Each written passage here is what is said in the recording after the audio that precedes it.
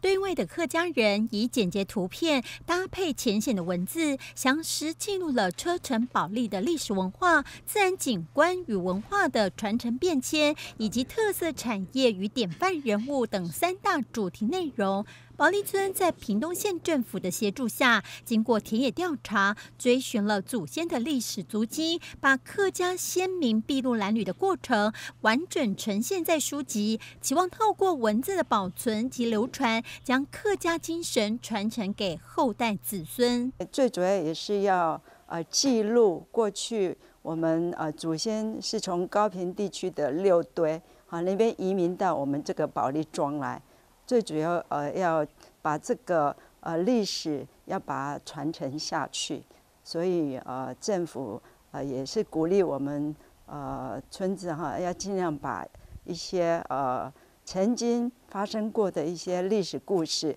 或者说呃一个演进的一个过程，都可以有一些呃记录流传下去，这样子。适合大朋友、小朋友翻阅的绘本《保利好客》，以儿童的视角，用生动活泼且有趣的方式，让阅读者跟着故事主角的脚步，走遍村庄，了解保利村的文化及观光景点。绘本的话，这次是由车城国小的师生，那是利用拼贴的方式。其实绘本里面，我们现在看到的是印刷过，那它实际的话都会展示在我们的社区里面。它的原稿是用拼贴。是用粘贴的方式，然后老师会带领着学生来到我们的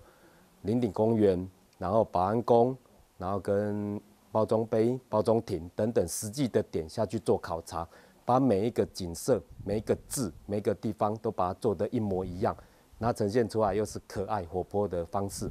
所以它是非常特别的一本绘本，然后也花了很多的心思。